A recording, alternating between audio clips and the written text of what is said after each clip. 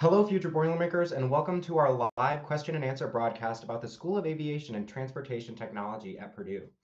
Tonight, we'll be answering questions about several aviation technology majors, including our Aeronautical Engineering program, Aerospace Financial Analysis program, Airline Management and Operations, Airport Management and Operations programs, and our Aerospace Financial Analysis programs, including our Unmanned Aerial Systems program. For those of you specifically interested in our professional flight program, that will not be specifically discussed tonight. However, there is a linked video below this video to an earlier broadcast where we spent about an hour and 15 minutes speaking specifically about flight. Vicki Gilbert, our recruitment and placement coordinator, is usually the host for this broadcast, but she is unavailable tonight.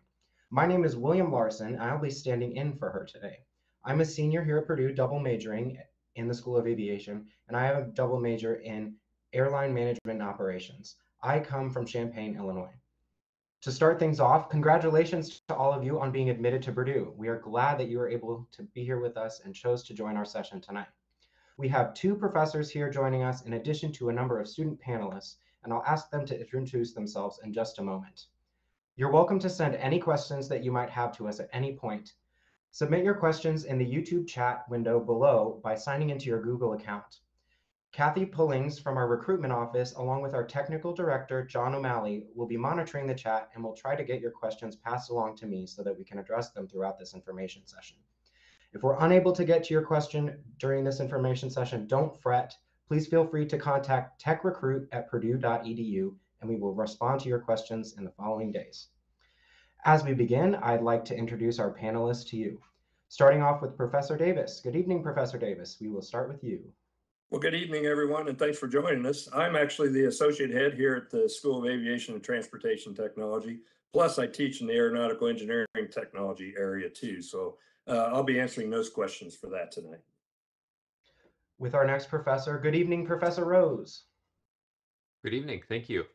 Uh, so my name is Professor Rose. Uh, I am a professor here, newest professor in our unmanned aerial systems uh, major. So I'll be answering questions about that.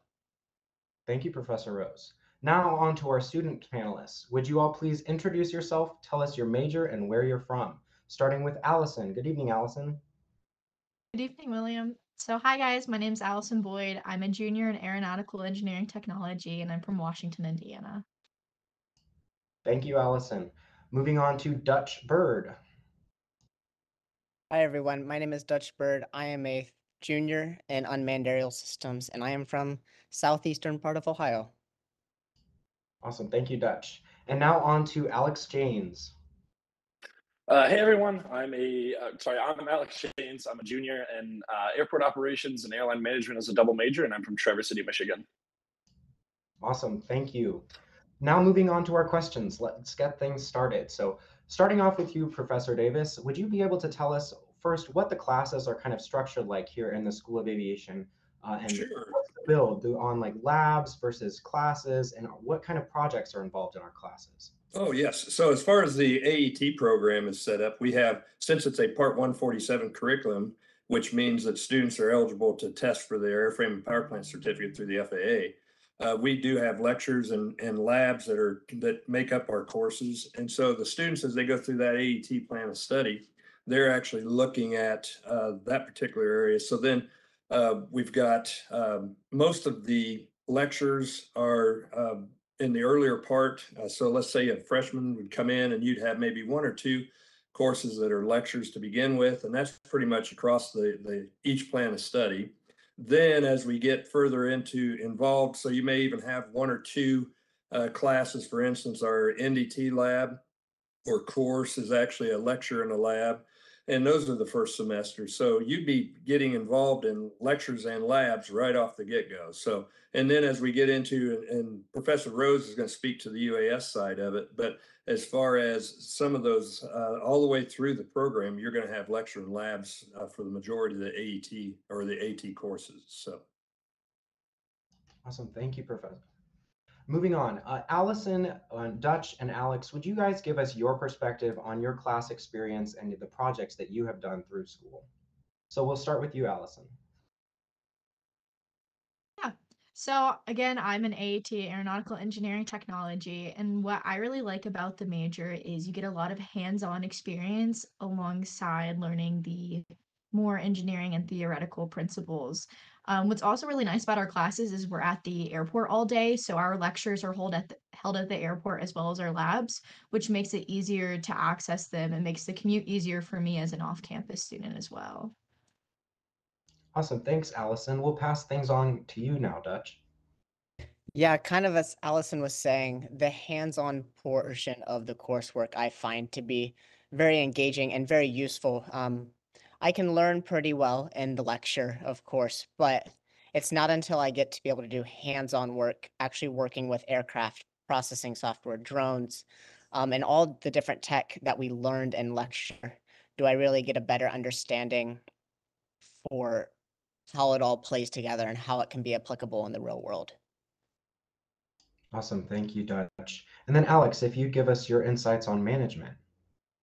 Yeah, so a really big thing with management is obviously spending a lot of time in the classroom and then being able to apply that to um, realistic situations within the industry currently, uh, exploring new demand, seeing where we can see new routes, um, seeing how we can better streamline communication potentially, and kind of diving down the different avenues um, within the management parallels. Awesome. Thank you, Alex. So that gives you a kind of brief introduction to everything. Now we'll go a little more into the depth of the different majors. So Professor Rose, we would start with you. Would you like to give us some quick introductions to the Unmanned Aerial Systems major? And for students who might already be admitted to Purdue for another university, uh, what makes this major really special at Purdue? Absolutely. Yeah, I'd be happy to talk on that. Uh, to give you a little introduction, uh, you know, we are an aviation program. So we're an aviation first program. Um, it's the first thing that makes us unique. Uh, and so with that, we're trying to teach you how to operate in the national airspace, right? We're sharing that airspace with a lot of different vehicles, commercial aircraft, general aircraft. Um, and so we, we teach you how to analyze the national airspace, and understand that airspace that you're going to be operating in and sharing. Uh, that's the first part of it. And then we also look at how do you maintain these systems, right? If anybody's familiar with the, the growth in UAS, they're getting bigger, they're getting more powerful, they're getting faster. So the result of that is we have to have people that can maintain them, right? We have to have people that can identify faults and fix them. Uh, so we get into a lot of that. And then as Dutch was was touching on, well, what what is the use in a, a an unmanned aerial system or a drone? Collecting data, analyzing your surroundings. Uh, and that's another big portion of the, the program. Of course, as Dr. Davis already touched on, we cap that off with a project, right? You've got to be able to develop something or create some project um, to turn into your uh, customer. A lot of times the customer is us. A lot of times it's somebody that we work with in industry. So I guess what, what makes Purdue special is probably what we have beyond just at the airport, right? We've got everything here at the airport. We've got an active runway uh, that, if you may have heard, will bring bringing in commercial operations soon.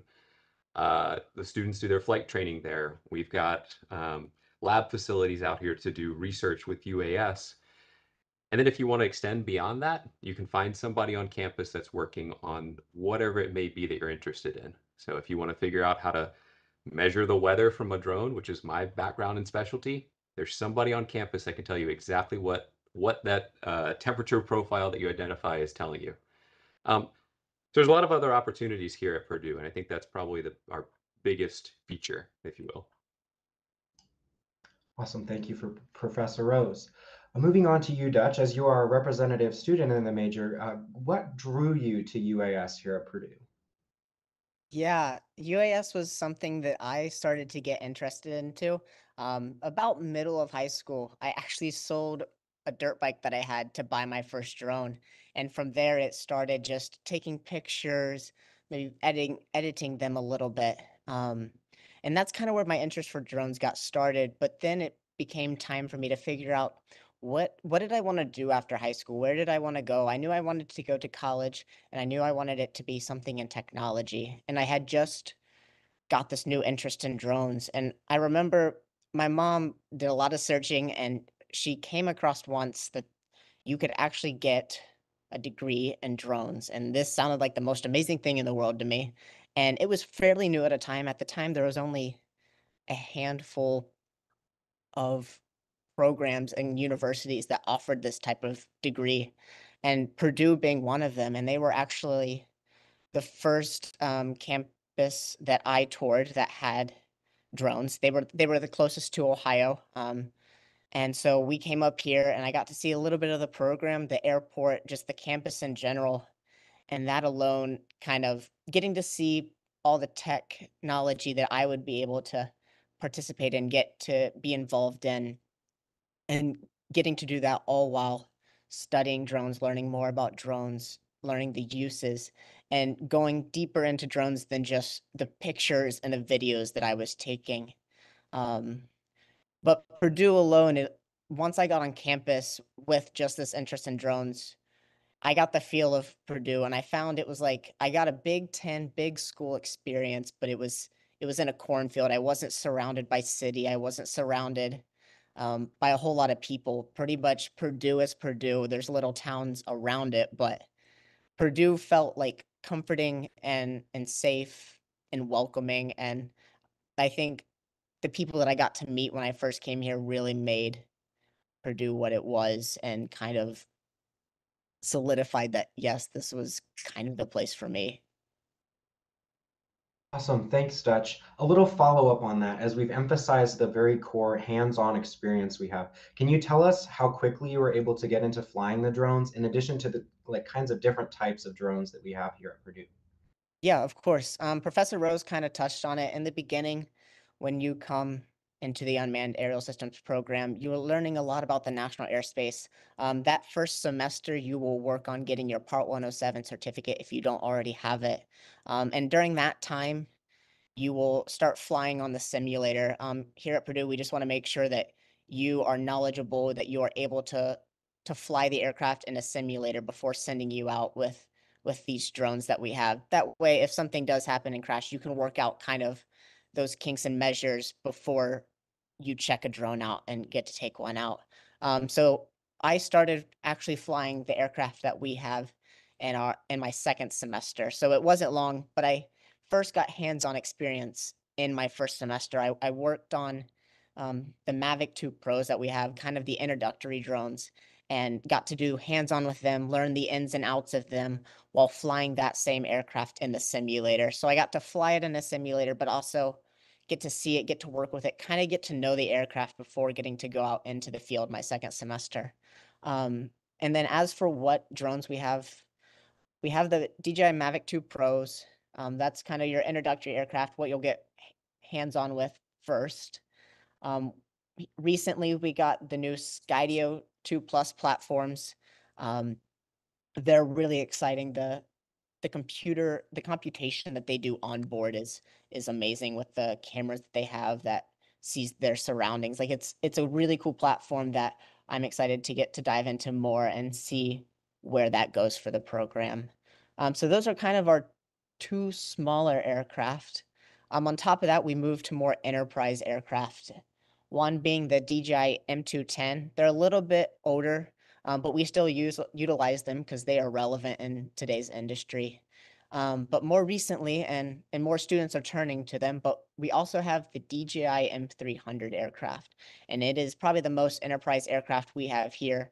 We're able to unlike the smaller drones where they have a fixed camera, we're able to swap out sensors. So we're able to have like a regular RGB camera that you can take normal pictures with, but we also have a thermal camera. We have a thermal camera that also has a, I think it's a either 150 or 200 times zoom, optical zoom on it. Um, we also have LiDAR for making po different point clouds. And all of these can be used together um, to make those kind of end project for clienteles that Professor Rose is talking about. Um, we also have a few fixed wing aircraft um, that students are, are working on and kind of learning on. Um, but pretty much we have a lot of multi-rotor, some of those enterprise, we have some basic ones. We have a great range for students to kind of learn on some that maybe is more on the consumer side, but also some that are very much relevant to industry today. So it gives it gives a good broad scope of what is out there on the market that we and we are able to provide that to students. Awesome. Thanks, Dutch. That gives us a really good overview of that. Moving on to Professor Davis really quick. Before I have you talk about AET, we were fielded a question from the YouTube. Um, for someone who's interested in pursuing a career in air traffic control, as that's something we don't offer distinct, distinctly right now, uh, what major at Purdue would they want to study in order to learn ATC in the future? Well, actually, right now we we were a CTI institution at one point, but we lost as far as the way that was situated. Some of the FAA requirements were set up to where uh, it would actually benefit you to come through the CTI program, receive that certificate here at Purdue. But uh, the way it's set up now, it really doesn't give you a leg up against any other candidates that are interested in going into ATC. So uh, what I recommend to students is basically we have just put that on hold uh, as far as the CTI certificate from air traffic control for the program. But they have, um, my daughter in law actually works for the FAA in Oklahoma City in the air traffic control training center. And uh, she's bilingual, so she is actually training air traffic controllers in Oklahoma City. But uh, the suggestion I give students there is to sign up for that program right through the FAA because there you can actually go through that program and then you're on the payroll as you go through that school. Now, I would recommend that you go through one of our programs like aviation management or whichever one would would interest you there because it's going to give you kind of more of a background for what's going on with air traffic control and all that. But as you know, the person that sent that in knows quite well, I'm sure that we are have a severe shortage for air traffic controllers. So they're trying to work that to the best of their abilities right now. So they're trying to get as many folks signed up for ATC and get them to the to Oklahoma City for some of that training as they can. Awesome. Thank you, Professor Davis. We'll be sticking with you for the next question here. Uh, moving into the AET side of things, how does aeronautical engineering technology make itself uh, unique in comparison to the other majors in aero engineering through the College of Engineering at Purdue? Okay, uh, as far as the aeronautical engineering technology, so we're carrying the engineering title because of our ABET accreditation. So that that allows us to have the engineering title in that name. And then as far as to compare us against aero engineering and astro, we are we basically study some of those same characteristics and some of the design factors and things like that. But we actually with our with our labs and with our hands-on practical experience, the students actually get to come out from behind the computer and go out to our actual test beds for our aircraft, for our test cells where we actually have operating engines. And they they will run those engines and aircraft and you know troubleshoot them and learn about the systems. And they're right there in front of those students. So uh, that was one of the things that drew me to the program 16 years ago because I just just now, as of January, started my 16th year here at Purdue. I am retired Air Force, so I've been uh, dealing in the aviation business for 35 years with the Air Force and and uh, so I knew quite well about the Purdue program. I think Dutch mentioned, you know, here we are, a Big Ten research or an R1 institution. So when I saw the AET program was offered here at uh, Purdue, I thought, well, it's time to maybe see if I could be part of that. So, and and really what we're looking at, we still, you know, a lot of folks think of the engineering, aero engineering, and you know, they understand that it's the design and the application side of it, but then uh, when that comes out. Then when we look at the engineering side, as far as manufacturing engineering, quality engineering, and things like that, those are the folks that are kind of where the where the rubber meets the road, and they're going to make those systems that have been designed and engineered to that point actually operate and maintained. So that's that's the biggest difference between aeronautical engineering technology and then aero or astro. Thank you. Mm-hmm. So moving on to you, Allison, as you're a student representative, what is the thing that made you choose AET at Purdue, and what you, what got you the most interested in the major here? Yeah, so what first attracted me to AET was I always knew I wanted to go into some kind of STEM discipline. I'm the first in my family to go to college, and the rest of my family is blue collar. So I was attracted to AET because it had some of that engineering in it, such as Dr. Davis mentioned with the ABET accreditation, but it also had the hands-on experience through labs where you can earn your airframe and power plant certifications. So what I really like about AET is its marketability. So you can go out into industry and you can work a design role or an engineering role, or you can work as a technician. Um, it offers you a lot of flexibility and allows you to change your plan during, before, or after uh, graduation. So what I really like about AET is its flexibility and also the close knit community we have here within AET because it's a very small major um, compared to the rest of Purdue, where you'll have typically between 30 to 50 students in your classes, and your labs will typically see between anywhere between like six to 15 people. So you get to know everyone really well and you get to build a really nice community out here. So, well, pardon me there. I lost the mute button for a second. Um, so we have a question on AET and some classwork for you, Allison. As it is an engineering focused major, we have questions on Purdue math. Um, so what's it like taking math 150, excuse me, 158 and 16010 because those are part of the required curriculum? I would say the math is very manageable. If you feel program doesn't have enough math for you, you can definitely pursue additional calculus classes. I have a few friends in AET who went to go pursue Calc 2, 3, and 4. But here, um, for me, I just ended up taking pre-calculus and calculus 1. It was very manageable. Um, I got A's in both of the classes, and there's a lot of uh, help and tutoring in AET as well as the rest of the uh, Polytechnic for help with calculus if you need it. Awesome. Thanks, Allison. And as a person, uh, current student myself, I did have to take both of those classes as part of my major. And just re-emphasizing what Allison says, uh, there's a lot of help out there for students in those courses. They're not designed to be very difficult. Um, so that is something that's very achievable for you as a student. Additionally, this is a course that everyone in aviation is taking. So you have all your friends here at the School of Aviation that you can study with and work on the homework with together. So that's a fantastic resource to you because everyone around you will be taking similar courses. So now moving on, um, I'm going to field a question over to you here in a moment, Alex, but I'm going to ask Professor Davis first. Uh, Professor Davis, what really sets apart the way that we do airline management and our different aviation managements within the School of Aviation? Because the way they do it in the College of Business for a different business degree is a lot different than how we do it out over here.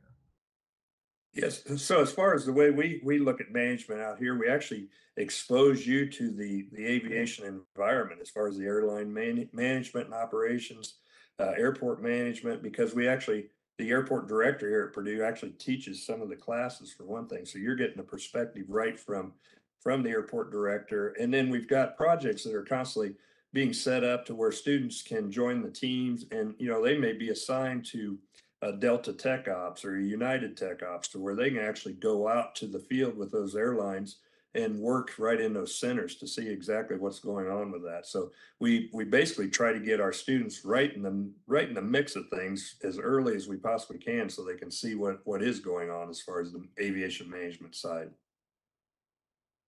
Awesome, thank you. Moving on to you, Alex, why specifically aviation management at Purdue? Why not go to the College of Business?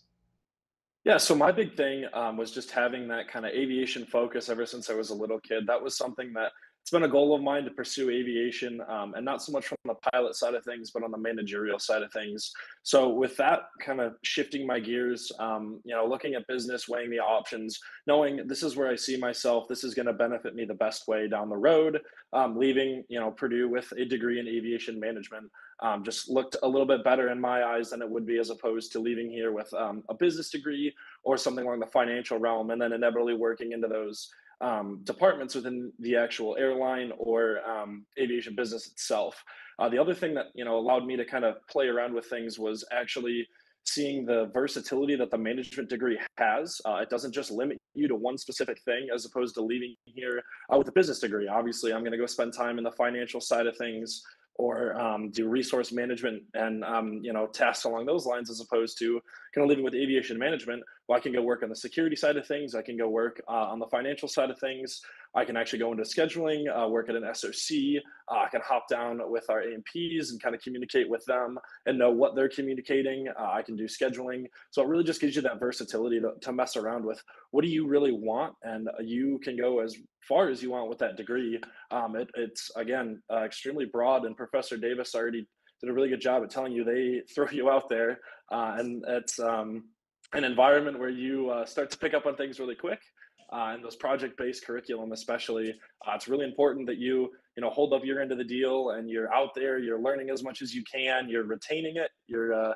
I always use the expression you're absorbing things like a sponge, uh, and you're using that applicability and applying that to the lessons that you're learning um, in the classroom. So being able to take this data set and then analyze it in the best way possible, um, write a couple codes here and there, and then be able to present on that five minutes later, you know, 10 minutes later, something along those lines is something we strive for in SATT. Awesome. Thanks, Alex. And I'll give uh, my two cents on this. I've been asked to chime in as I, as I mentioned earlier, am a double major, and one of those majors is our airline management and operations program. So when I came to Purdue, I initially only came for our flight program and decided it would be very beneficial to add this as a double major for me. Uh, some motivating factors behind picking up a double major while you're at Purdue um, are just the extra versatility, as Alex mentioned, that the degree gives you to branch out within the industry.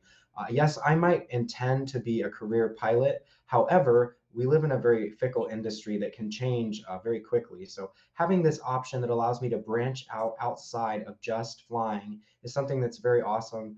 Uh, and it opens up a lot of cool new doors for me as a student in this program. And you also get a much better picture just of how the industry works because things are very complex. And this is going to give me some really good knowledge that kind of helps me think both on how the managers of me um, as a pilot are thinking, in addition to insights on how the passenger might feel because of some of the classes I've taken. So I found that it was very easy uh, to add that due to the similar course overlap, in addition to just the great benefits I'll have down the road and the potential future options to branch out and add things in my career as a pilot. Yeah, well, and if you don't mind me um, just kind of adding to that too, just so um, you guys all understand as well, uh, double majoring here traditionally only adds, um, I believe it's 12 to 15 credit hours, um, depending on what degree it is. Um, with the management side of things, as Valerie said, there's a lot of collaboration and crossover between the curriculum. So it does allow students the possibility to double major in different sectors, um, like Will's doing professional flight and airline management. I'm doing um, airport operations and airline management, and I know students are doing AET and management. Uh, and it just gives you that ability to cross over between the two of them and cover as many avenues as you can. And we'll put it best, um, really exploring the avenue and understanding the different perspectives that go into kind of evaluating things. Awesome. Thanks for that input, Alex.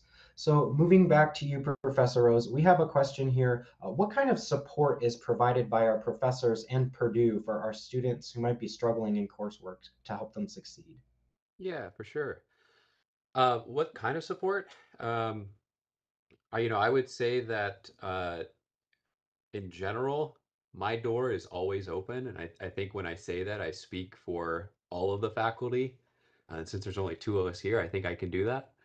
Um, the only reason my door is closed today is because Dutch Byrd is on the other side of it, out in the lab, on the other end here.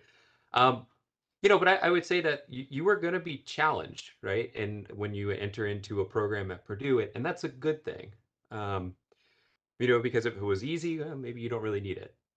Um, but you will be challenged, and and one of the things that is very important for us as as faculty is to be available to you to ask questions, right? Questions about the course, content, questions extending beyond the course.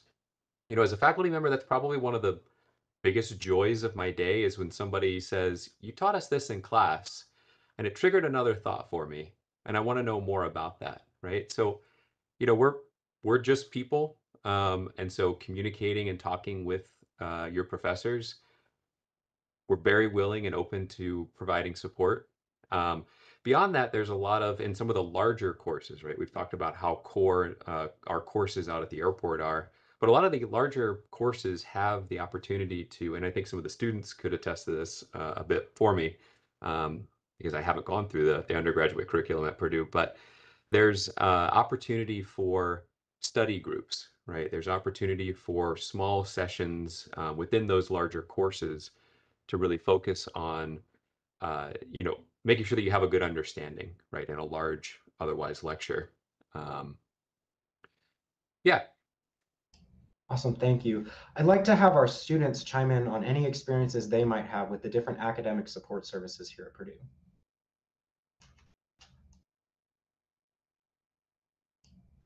Alex, okay, I'll go. I'll go first. I was doing that. The Awkward. Okay, let's see who else wants to talk first. Um, yeah, my personal experience is um, Dr. Marite or Caroline Marite. She's not on the call. Um, I've had a lot of one-on-ones with her just to work through. Um, she taught me it's 252 aviation projects. Um, I spent a lot of one-on-one time with her, just making sure I was hitting all the curriculum. She does a really good job at setting up that class in the sense of um, you have kind of a weekly agenda, and this is what you're going to submit by the end of the week. Um, so I, I want to say I almost had like a, a, Wednesday evening appointment with her consistently, where hey, this is what we have, um, just to make sure we're hitting all the points. And you know, we'd talk for 45 minutes, just hey, you guys can improve here, you can work on this, you can work on this. Um, I really like this, or you know, there's been plenty of times where she said, okay, I'm going to be blunt and say this looks terrible, and I want you guys to start over. Um, and you know, from there, you just say, okay, let's cook the books a little bit harder and then you turn it in on friday and it always looks a lot better. Um, but you know that that having that ability um, to just walk over to your professor who is almost always down the hall from you no matter where you are at the airport uh, and really have that one-on-one relationship with them um, I, i'm kind of blanking on the statistic but it's a very small um, student to uh, professor ratio here at the airport. Uh, I know one thing that we strive for, um, especially, is that 15 to one ratio with labs. So you have a lot of one-on-one time with the uh, with the professor, with the TA, uh, and you're not kind of alienated from the rest of the group. You're very much so um, kind of you know a part of this greater system where everybody is pushed to do the limit to be as successful as they possibly can. And I want to say our professors do a really good job at making sure everybody's kind of on the same page. Um, they're definitely not afraid to call you out uh, in those smaller classes, speaking from experience there.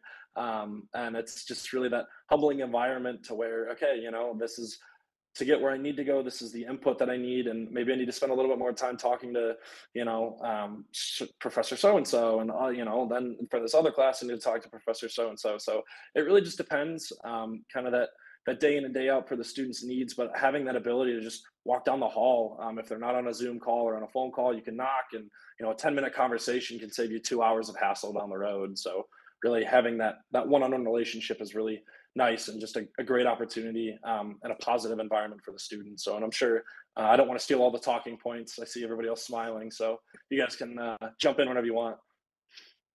Awesome. Thanks, Alex. And John, our technical director, has put up some web addresses on your screen for different ways to get academic support here at Purdue.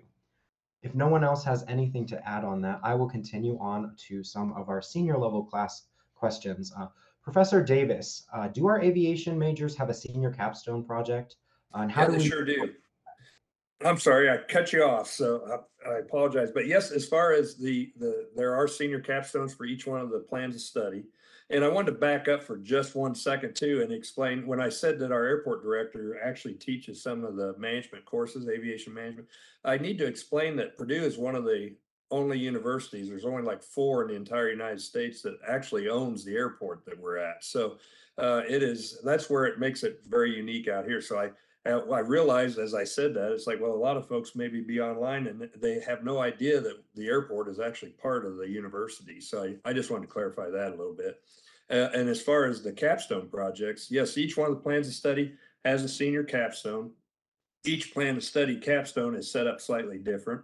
Uh, AET, for instance, it's it has two separate courses uh, that are actually there. One is basically to lay out the problem and analyze it, build the teams, and then there's a do phase. So as soon as they one semester and, and they would actually lay that pro- problem out, and then the second semester that they're working on they would actually complete the task. And you know, we've had all kinds of different things as far as capstone projects, and and our uh, Dr. Ropp actually teaches the capstone for AET. Now, on the the management side of it, once again, it's a project based uh, capstone project, and then everyone is going to go through that. And we look at it from the SATT standpoint that really it's it's a way of building teams because we know our students, no matter what plan of study they're coming out of, they are going to need to have those those team building skills. In that and that just helps pull those teams together. And let's face it covid kind of separated everyone pretty well. So these capstones really ended up bringing folks back and getting them talking to one another and and kind of understand what they would see once they left us and got out into industry. So that's that's what we look at from the capstones Awesome. Thanks, Professor Davis. And kind of sticking with you, what kind of internship and work experience is required in order to graduate from Purdue in our programs? Oh, well, we actually look at, you know, the, the professional experience. If you can, for instance, I've got students that have had co-ops uh, with the Gulfstreams, with Textrons, um, all this type situation. We've got, so we've got the co-ops, we've got internships. We've got, uh, actually right here in town, we have a GE facility that offers internships. And when I, when I speak internships, I'm talking about all the different plans of studies where it's, it's actually open. So uh, kind of a neat thing that happened today. One of my former students stopped by and he's working for an industry leader and he actually is looking for students. So he knew what our programs were all about. So he came in here and, and gave me the, the, the job titles and what the job descriptions are for the students that they're looking to hire for at the company that he's at. So those are the type things that go on all the time and our students are you know we we want them to get out there and get that professional experience. We've got a couple of things that are pending right now. We've got contracts written with uh, industry leaders out there. They're coming in. We're actually working with them on apprenticeship programs. Uh, in fact we're doing uh, supplemental type certificate evaluations for some some of our uh, industry folks. And then, so we've actually got those projects. So we've got students that actually end up right in there as far as getting that that work ethic, that professional experience right from the schoolhouse. So uh, one thing that we we hear from our industry advisory board when we're we're talking with them is that what sets Purdue apart is just the skills that they're seeing because they're looking at uh, providing us insight in what their expectations are maybe five years out of school, what they would like our Purdue students to be able to do five years outside the school. And so as they come back to report, and a lot of those industry advisory board members are former Purdue students, they can give us that insight and then what their expectations are. So that's how we kind of tailor it. But we we really uh, look at that professional work experience as something. First off, it's going to be great for their resume, and then going along with all our courses with our practical projects and those hands-on projects, it's something that a student can actually develop their portfolio. So we, we know that as far as providing resumes and things like that, most of the HR departments, they're looking at one pagers. But a way to kind of set yourself apart there is, you know, put your portfolio together of all the projects and all the different uh, committees and the, the student groups and all that you've been part of while you've been here at Purdue and show that to your future employer. And then that really uh, sets you apart. So that's kind of how we, we look at the professional side of it and the internship side. Awesome. Thank you, Professor Davis. Mhm. Uh, shift things over to our students now to share their personal experiences and internship and different opportunities they've had. So, Allison, uh, as we've been, we're talking a lot about AET. Would you like to tell us how you've been doing your internship requirements? Yeah, for sure. So I'm gonna clarify this real quick. There is like an internship slash job requirement to graduate the aviation school. So if you can't get an internship, Purdue will help you get one. So that's really awesome. They'll uh, help you get one here at the school or somewhere else on campus. So I've worked since I've been at Purdue since my freshman year. I've been a flight simulator technician at our uh, flight simulator building here at the airport. Um, fall semester of my sophomore year, I took a semester off to go to Houston, Texas, and work for NASA and lunar mission planning. So while I was there, I helped plot like lunar traverses, and AET was really helpful with that because we were able to identify how long uh, the bolts and nuts and the tires and the wheels on these rovers would last, depending on how many miles or how many hours they were in operation. Um, and then last summer, I worked for Lockheed Martin in sustainment for a fighter aircraft. And then this upcoming summer, I'll work for Blue Origin as a NASA contractor working on lunar transportation again. So you have a lot of options what you can do. You're not just limited to aviation or aerospace. You're not limited to just technician work or engineering. Um, I'm taking advantage of everything, you know, getting that technical troubleshooting knowledge, as well as getting some of that design and sustainment and engineering applications as well. Allison is an overachiever, so we just she goes down to the sim building. So and actually she she needs to tell everyone how she has held that simul, simulator building together because we've had a turnover in folks down there. So she's been the one that's been tasked to take basically take over the sim as we train the replacements. And so she's helping to train them and all that. So the experience that she's gained has been able to help bring in those new folks and get them up to speed down the simulator building. And as a student who is a teaching assistant in one of our simulators, thank the Lord for Allison. She has been a lifesaver to us. You didn't know this was going to be a commercial for you, Allison, right? To all the companies out there watching, Allison is the one to hire. Awesome. I'll kind of shift things over to you, Alex, if you'd like to tell us about your internship experiences. Yeah, so for the last uh, two years, I've been the intern up at Cherry Capital Airport, uh, TVC. Um, all the pro flight kids love to do their cross countries up there. Um, so it's always a fun little time when everybody hears about getting ice cream from the FBO there. Um, but I worked uh, really closely with the airport operations and airport administration department there. I started off working on my incident command system training, um, kind of working through the ins and outs of what that was like, um, a little bit of the financial realm uh, on the administrative side of things, obviously seeing how much equipment costs. Um, kind of a wild assortment there. And then on the uh, airport operations side of things, I did a lot of um, airfield inspections, uh, runway mitigation, or sorry, um, wildlife mitigations, um, we did do a little bit of sampling um, and the safety side of things, um, kind of exploring what could be done more efficiently. Uh, and I got to help um, with that, which was a really cool experience. Um, and then some of my bigger highlights, I've successfully helped in coordinating two air shows uh, with the US Navy Blue Angels and the US Air Force Thunderbirds. Um, so I'd say those are definitely my bigger highlights there. Uh, and then also just kind of having the ability to learn about what it takes to run a Part 139 airfield, uh, the requirements that takes, um, the you know stringent rules that you have to follow and understanding and getting your hands on what it takes to actually do these things um, i've been able to do some really remarkable things changing uh, taxiway signs replacing lights um, really messing around with airfield electricity in a safe way just for the record that wasn't anything that was uh, out there in case um, my bosses are listening that was all within our compliance rules there um, but yeah, just having the ability to really absorb as much as I can and see what it's like to to run a growing airport. Um, you know, and seeing kind of the expansion projects and you know the big things going on. I got to be there for uh, the unveiling of a new ILS system, which was awesome. I was able to come back over the winter months uh, and work a little bit of snow operations. Uh, I worked two major snow events. Uh, and that was a really cool experiencing what it's like from the, a northern airport perspective to maintain runway safety and making sure that we can still land aircraft safely, whether it's general aviation or commercial aviation. Uh, it's our job to go out there, uh, move snow, make sure that runway gets um, as cleaned off as best as possible, and make sure it's a safe environment for uh, all involved and those who want to use the airfield.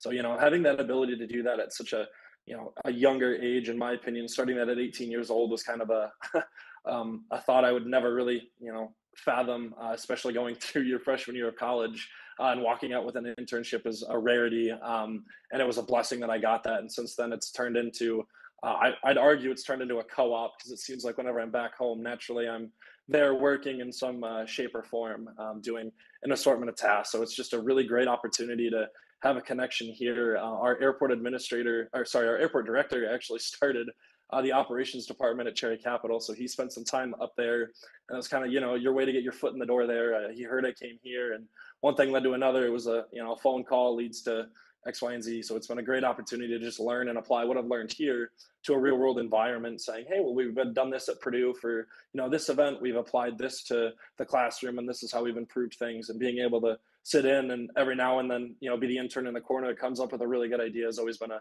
a gratifying experience at the end of the day. Awesome. Thanks, Alex. And while we're on the topic of management there, we have had a question fielded. Um, what is the life, a day in the life for you like as a student in uh, aviation management? And then have you, what are the opportunities to branch outside of the School of Aviation as well?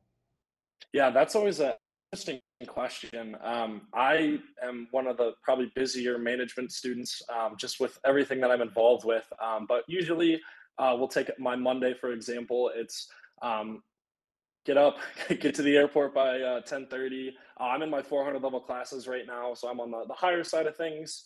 Um, and then uh, it will really vary, um, I guess, kind of as the day progresses. But it can be anywhere between a safety meeting with Stephanie for things uh, upcoming in the future, or it can be um, tackling some more homework assignments. But uh, really, my day to day can vary. But I guess really to answer that question in an appropriate way, it's um, it is one of those tougher questions with me, but um, you know, it, it is showing up to the airport um, just because I'm at that stage and uh, staying down here, working throughout your course load, uh, divvying up what I have due throughout the week, and then you know, kind of front loading things and working through it that way. Um, and then what was the the second part to that question too? So it was just uh, general the day in the life, and then what's it like trying to branch out of the School of Aviation? If you wanted to go get a major, let's say in the College of Liberal Arts, for we'll say Mhm. a major in Spanish. Yeah, so it's really easy to do that. Uh, you just have to, um, in my case, I explored doing a minor. Uh, with minors here at Purdue University, the student has to do all the research, uh, figure out what classes they have to take there. With a major, you'll actually get assigned two uh, advisors to help you work through that. Uh, one through that particular school. So let's say we use liberal arts as an example. If you wanted to go get a second degree um, in some form of liberal arts, you'll actually have a School of Aviation advisor, and then you're going to have a School of Liberal Arts advisor uh, and you'll kind of work jointly on what kind of is going to mash together per your core curriculum uh, courses for both majors uh, and what's going to overlap for extracurriculars or um, the I forget the technical term for them, but you're going to have your elect uh, sorry electives um, for both specific major and how those will cross over between them. Um, but having those two advisors is really beneficial to you just because it makes it a lot simpler uh, in the sense of okay, this one's specific to this and this one's specific for that. Awesome, thanks, Alex. And shifting back towards the internship stuff, Dutch, would you be able to tell us how you've done your internship requirement? Yeah, so I I had applied last last year for one and, and didn't get it. So unfortunately, I've applied again to to Duke Energy with their UAS operation. So still waiting to hear back from them, hoping for good news and I'll have an internship. But I've still been able to get real world experience even with not an internship yet. Um, hopefully one on the horizon. But I've found myself there's there's been things that I've been intrigued by, interested in that maybe isn't directly covered in the coursework, and I've actually turned it into a research project that I have done for over a semester and a half, almost two semesters at this point. Um, and it's allowed me to see what people are doing in industry, um, looking at problems that they have, looking at kind of where is tech right now, technology, where what is our right now i'm doing a, a project on solar panels so using a drone the m300 one of our enterprise drones with the thermal camera um, and doing scans over a local solar farm and i'm able to d- detect hotspots um, through that thermal camera some that you aren't able to see with the naked eye and and that translates to real world industry because that helps um, them the the farm that i'm working with that's a, that helps them get maintenance quicker. They're able to quickly identify where those defects the hotspots are defects in those solar panels where where it's breaking down and not working as efficiently. I'm able to quickly identify where those hotspots are where it would take probably a technician or someone on the ground hours to do. I can do a flight in in 30 40 minutes and have all the data that they need to be able to um, kind of see where those hotspots are. So I've been working closely with them, um, working with professors have provided great insight on maybe what is real world experience. What does that look like? What what pieces could you be missing that industry may be having problems on? So that's where I go out and that's start reading about the industry. What are they doing out there? What issues are they running into? So then learning like what can I do next here at Purdue with the resources that I have? And I think that's another cool opportunity. Research is another cool opportunity that we are able to participate in. Like, like Professor said, we are an R1 institute. And so being able to kind of take these ideas that you have, these interests that you have, and kind of turn them into a project, um, something that you can bring to life that is tangible. Um, I've been, actually been able to take this project just from an idea that I had all the way to now I've I've presented at two poster sessions. Um, it's something that is leading to more and more questions that I have, which leads to to extend extending this project more and more and more. And it's just something that I have quickly drew an attraction to and something that I'm as I'm in class and in my coursework and in lecture and lab, I'm in the back of my head thinking how can I apply this knowledge to that research, which ultimately could potentially lead to helping industry or helping the the way we conduct, in my sense, drone flights over solar panels to detect defects. So even if you don't have an internship yet, like myself, or you don't get one within your first few years, I think there are still ways here at Purdue, it, whether it's your coursework or or a research project, that you can get and engage in real world industry. Awesome. Thank you, Dutch. And a quick note on all of those internship experiences. We do offer numerous career fairs, obviously, here at Purdue. Uh, the School of Aviation, we actually offer our own career fair. We offer one each semester in the fall and the spring. Um, and those uh, bring in all of our different aviation companies uh, to network for us, specifically in aviation. Through Purdue, we have access to all of the other colleges and schools um, career fairs as well. So we can actually go to the Polytechnic uh, career fair, which just so happens to be occurring tomorrow. Uh, in addition to the other colleges, career fairs, we have a lot of students in our aeronautical engineering technology program who will actually go to the College of Engineering's career fair to order in order to learn about additional opportunities as well. So there's a lot of different opportunities through the different career fairs that you can become involved in. Uh, there is a link right now that should be on your screen that goes for our career fair. So please feel free to take a look at that at, excuse me, take a look at that if you are interested. So moving on to, uh, I kind of mentioned on the connections there with companies for our career fairs. Professor Rose, would you be able to tell us what kinds of uh, connections we have through our faculty to help support students, uh, whether they're taking its class classes right now or going off to a job in the near future? For sure, yeah. Something that's unique about our our faculty pool in uh, the School of Aviation is that a lot of them came from industry right? So with that, they carry all of that industry experience and all of the networking that comes with that, and they bring it to the university. Um, and and most of them are very willing to share that. Um, you know, I think so. Uh, touching back on on Dutch's project, I, I, think he may have undersold it there. I've got a feeling that you'll probably be reading in the news before too long that Duke Energy bought his patent on AI interpretation of solar panels, but uh, you know maybe that was an undersell. Um, you know, there's a lot of us that are that are also curious, right, about how that research works. You know, I I am working. I'm Dutch's advisor on that project, and I don't know the answers, right? So I'm very curious about it as well. So I I have the incentive to fulfill my own curiosity to reach out into industry, contact Duke with him, uh, to make those connections. Um, you know, something else that's important that we we do is we buy a lot of platforms here. Um, you know, I, I Dutch didn't mention this, but he actually manages a lot of those platforms with a team of students. Um, so we've got about 50 different aircraft here, and we've got students flying them all day, every day. Uh, and so that results in a lot of maintenance. So we've got a core team of people that are maintaining those aircraft. Um, and so when we buy an aircraft, we're buying into generally a fairly small company, right? DJI is definitely not a small company, but Skydio is it started out as a startup. We've been working with them over the years. We bought their part of we bought into their fleet. Uh, we've got some aircraft from C-Astral. Um, we're looking at partnering with another company that I just recently visited this summer um, called DeltaQuad in the Netherlands. Um, and so we don't just buy aircraft, right? We partner with these companies so that we've got a long-term relationship.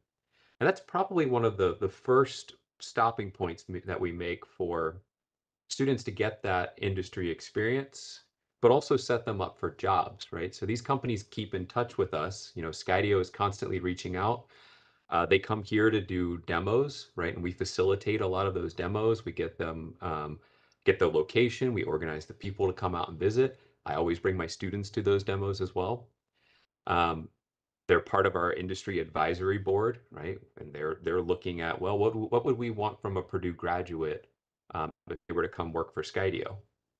And we start to we start to tailor our program to that. Um, so when we buy an aircraft, a lot of times we're buying this partnership. Um, one of the things that we took away from our industry advisory board uh, meetings over the years is that people really want to see technicians that can maintain an aircraft that hasn't been made yet. That's the neat thing about UAS is a lot of these aircraft haven't been made yet. They're a concept, they're a design, right? We, are moving into the advanced air mobility space um, where we're going to have to have technicians that can maintain an aircraft. And so when we partner with these companies, that's usually what we try to facilitate is we'll we'll learn how to maintain these aircraft. And in the future, particularly with uh, DeltaQuad, and hopefully I'm not speaking too soon on that, um, will become a, a service station partnering with them, right? So when an aircraft fails in the US, they'll ship it to us. Our students will analyze that aircraft. You'll learn then that that particular aircraft. So when when DeltaQuad, as an example, is looking to hire somebody, you're the expert. Um, so, of course, I think we also mentioned that we have got a lot of uh, career fair opportunities. Um, if you're savvy enough, you'll use Purdue Aviation Day to network and talk with all of the companies that are here. Um, you know, they're they're presenting to us, but you could certainly present to them. Um, and then when it comes down to to looking for a job, you know, I think the the fact that there's so um, the the student to faculty ratio is in the student's favor. Uh, we have a lot of time to work directly with students on resumes. Uh, the number of resumes that I've looked at over the last couple of months is through the roof. Um, and I'm happy to do that. I'm happy to take the experience that I have and help to translate that uh, into your resume, right? So how do we, uh, the experience that you've gained over your four years, how do we interpret that and put it into a resume? Um, in addition to that, the student council will host uh, resume, and I think the students could probably fill in more information, but we do a faculty panel and we'll review students' resumes. Uh, I think that's once a semester we host that. Um, so you'll get four faculty members in a line at a table, uh, and then students just bring up their resume and we review it on the spot, provide feedback. Um, and, and you can go right down the line between the different faculty members. So I've done it for a, a few. Um, I know we've had some people from AET and management and ProFlight. Uh, and so we all chip in to make sure that you are industry ready. Um, and that's that's the best way to appeal to these these companies is by being an expert and presenting, and we help you present yourself in the best way possible. Awesome. Thank you, Professor Rose. So kind of moving off into that career preparation that he mentioned, uh, Professor Davis, would you be able to tell us some of the kind of career opportunities that students in our aeronautical technology program and our various management majors can proceed into?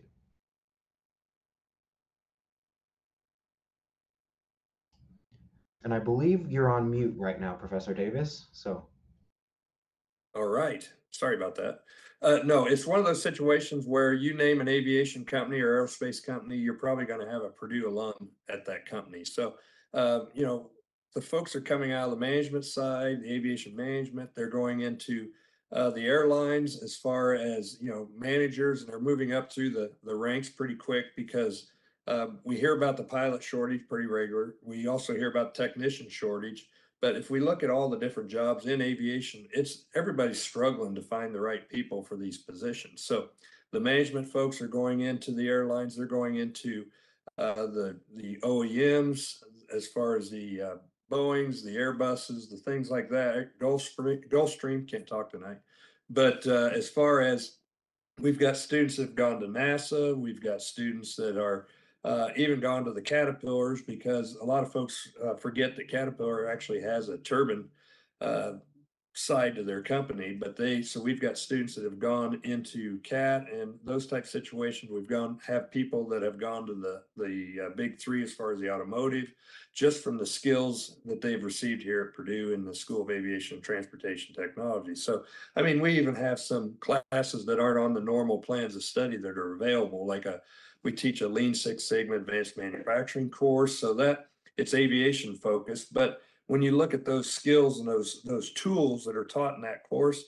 that prepares you to go into pretty much any any uh, business service as far as project manager, those type things. So it preps you for about anywhere that you would like to go. So if I sat here right now, I could give you the, you know, we've got students that at Gulfstream. In fact, the student that stopped in today was BAE. So they're Rolls Royce, Pratt and Whitney, GE, um, you know, name every airline. And we've got folks uh, in, in, the management side that are there.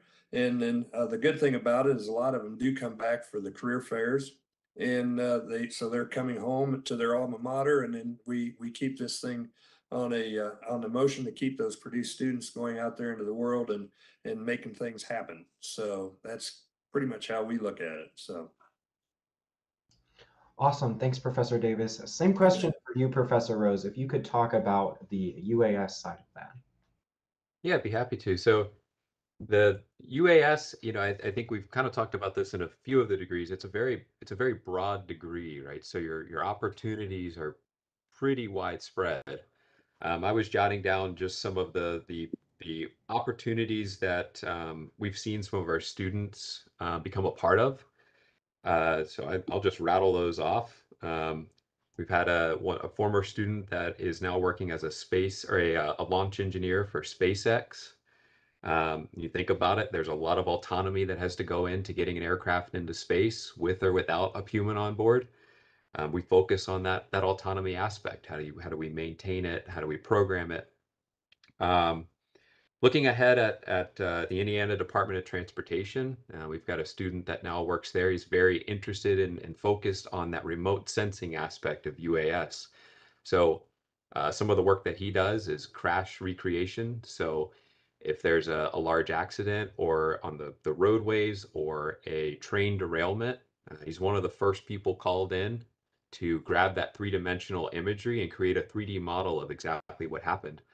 Um, of course, we've also got some students that uh, are currently applying to jobs. Um, so Wing, which is a, a, Google company or an Alphabet company, um, they've got a job that a couple of our students are applying for and, and have an exceptional chance at getting. Um, Airbus and Boeing, uh, a lot of people don't know it, but they've also got their own uh, UAS arm um, that's thriving. Um, Archer is another one. Um, and then we've got some students who uh, don't want to work for somebody else and they start their own startups. Um, so we've got one that's uh, actually local here to West Lafayette. Uh, it's Uniform Sierra. So that's a a startup developed from our our program. Um, so it's UAS students, uh, AET students that have partnered together, and they've been running this for several years now.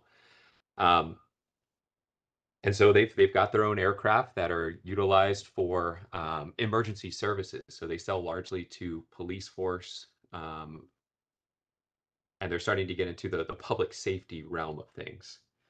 Uh, another company, Griffin, that's local, um, that was started out of uh, I believe it was the the forestry department. It's a very remote sensing heavy um, organization that can get very granular data uh, on agriculture so if you want to understand exactly what locate what what your crops need in a particular location, they can do it. Um, they can count the number of leaves on your soybean plant uh, from the sky. So that's just to rattle off a few of the places that our, our students have gone. Um, you know, but again, uh, we're a fairly new program in the grand scheme of, of you know, if we're comparing AET to UAS, uh, we're a fairly new program. And so we're constantly building those partnerships and those pathways for our students to enter into. Um, and so we'll we'll continue doing that. Awesome. Thanks, Professor Rose. Now, kind of shifting gears, I want to get uh, some of the questions off to our students about their experience. So, Alex, if you'd like to tell us kind of some about uh, your student organizations you're involved in and some stuff that you can do for fun as well.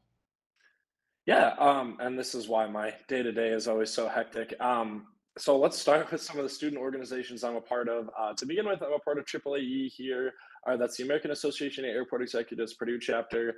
Um, there, I'm just uh, a chapter member, um, but that really gives me the ability to see what our current airport administration and associate uh, and the association itself uh, looking for with your um, kind of your entry level um, airport supervisors or people looking to get into the airport side of things. Uh, that's been a really beneficial group just as a, a, um, a resume builder, um, uh, you know, a chance to branch out, meet other management students and have, um, like I was saying, resume builder, also resume review. That's been the biggest benefit that I've had from that organization itself. Being able to send that out to an executive in Florida, um, North Dakota, you know, all these other states have them review your resume and say, hey, okay, you can improve here, you can improve here. Um, I really like this, didn't so much like that. Having that feedback uh, has been really beneficial to me, and I think has helped me tremendously when it comes to uh, applying that to my resume and then using that moving forward at the career fair. Uh, another thing I'm a part of um, on the aviation side of things is uh, aviation ambassadors. Uh, I believe all four of us, or sorry, all five of us are actually a part of aviation ambassadors. Um, with them, I've been able to go to FedEx. Uh, I'm actually going to business uh, Boeing Business Jet this weekend um, for a campus tour, and then uh, this past summer, I was actually able to travel to Oshkosh, which was a great opportunity to uh, keep promoting what Purdue has to offer students and um, kind of, you know, further develop our reputation out there in the aviation industry. Um, my final aviation association uh, is I'm also on the executive board for Purdue Aviation Day. I'm the safety and compliance director this year. Um, so definitely have a pretty hectic schedule uh, in the next coming days as uh, all that starts to build up. And I know um, Allison's being mute, but she can attest we're definitely putting in the grind right now uh, there. So she's smiling now, but uh, it's all starting to ramp up. Um, so everybody save the date, April 13th. Uh, please come out to the airport. It's a great opportunity to uh, see what Purdue has to offer, and we hope to see you guys there. Uh, and then, well, last one, I'm also on the Purdue bass fishing team, so I have the really cool privilege of traveling every so often up to national events. Um, this past week, we had five boats go down to Lake Murray in Kentucky. Uh, we placed 12th was our best boat. Uh, I'm for that organization. I'm the assistant tournament director, so I get to help schedule all that. Uh, I pay for all the Airbnbs and wait forever to get reimbursed. Um, so it's it's a lot of fun every now and then, uh, but.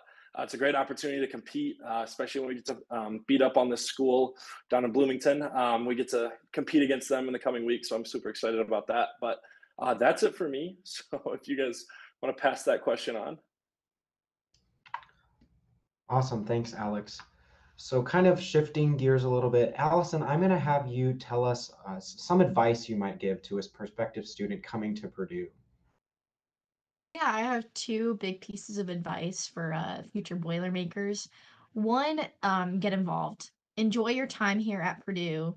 Having a good community of friends and peers, colleagues, and professors is going to make your life so much easier. Um, I didn't do that my freshman year, and then I learned, you know, my sophomore and junior years how important having that community is. Um, the second piece of advice is don't let someone else tell you no before you do something.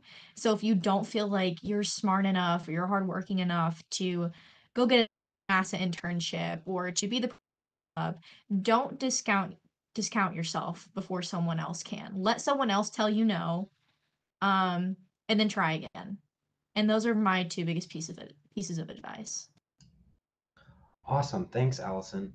Um, with that, we have some time now. Dutch, would you like to give us any advice you have? I, we also have a question I'd like you to mention in your response about transportation from main campus out to the airport. If you could intermix that in with your recommendations to students.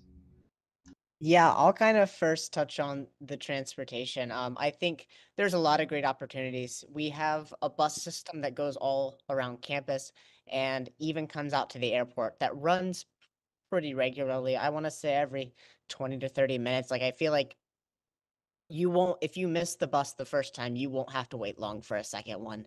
Um, and that runs pretty early in the morning to pretty late at night. I I know it's here before the first classes and it stays well after all classes are done.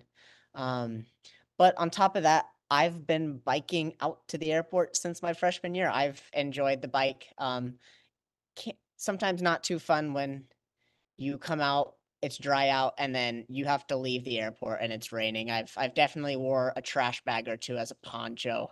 Um, but that that creates for great memories. But also, I've seen students walk. Um, it's a it's a little bit of a walk, but on a nice day, it's it's really a not bad of a trek. Um, it can be like good, like quiet time, just time to relax before you get into the busyness. Um, and then for students, there's also the opportunity to buy the parking pass um, and park out here on the airport. Um, and I, I guess I don't super since I haven't bought a pass. I don't know if it's 50 $75. I'm not it's not totally out of reach for the process that you for what you get getting to park right near the airport on rainy days. Um, down the road, there is a little bit of free parking, so it could eliminate a little bit of a walk. Um, but I found that there are very a multitude of d- diverse ways that you can get out here to the airport. Um, and then with advice, I think Allison touched on it. Community is one of the largest things. Um, finding those that you feel comfortable talking with. Um, but on top of that, get to know your professors. I have found that some of my some of the opportunities and experiences that I've gotten to have would not have came if I did not reach out um, to Professor Rose before he even got to campus. I don't know how that happened, um, but it has led to now him mentoring me on this research project or getting involved at UAS Dispatch, which is where I worked, which Professor Rose talked on. That came from me kind of putting myself out there and talking to professors, seeing what op- opportunities are, I think that can make you stand out as a student. Because um, I think sometimes it can be easy that once you get settled in and get busy, then you kind of just get in a normal routine. Um, but if you take a little extra time to kind of put yourself out there, whether it's in class or introducing yourself to your professors, I think that alone can go a long way without you even realizing it. Thank you, Dutch. I'll give my two cents as we wrap up here shortly. We have gone a little bit over our scheduled time, kind of throwing it back a little to when Dutch was talking about transportation to the airport.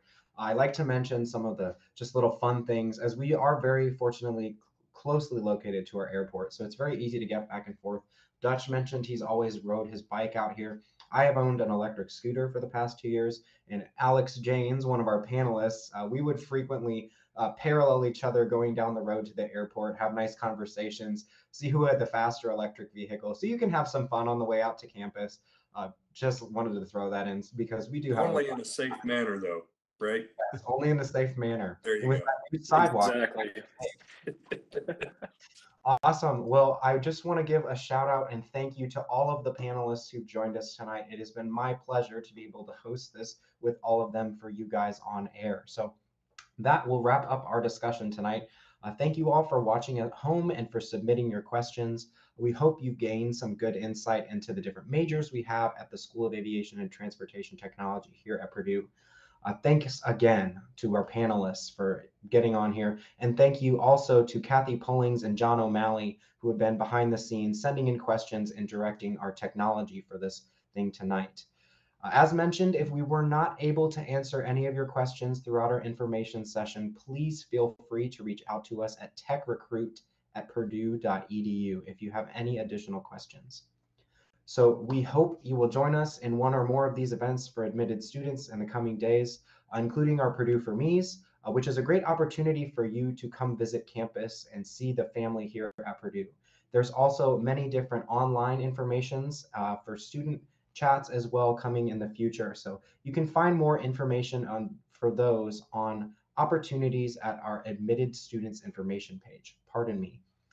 Um, there's also another live coming up soon. Uh, it's on February 20th for all students admitted to the Polytechnic Institute in our different Polytech majors. Uh, that will be called Student Life and Last Minute Questions. So keep an eye out for that. Uh, it will be more of a personal focus on what it's like being a Purdue student. So you might want to tune in in a couple weeks for that if you're looking for that perspective. Uh, all of those broadcasts you can find live at the website polytechnic.purdue.edu slash live. Uh, just a quick reminder as well for everyone as admissions decisions have been rolling out, your deadline to accept your offer is May 1st. So please get those in. Uh, we'd love to see you here at Purdue next year. Um, that concludes all I have to say for you all. And thank you again for joining us tonight. Have a wonderful rest of your night and boiler up.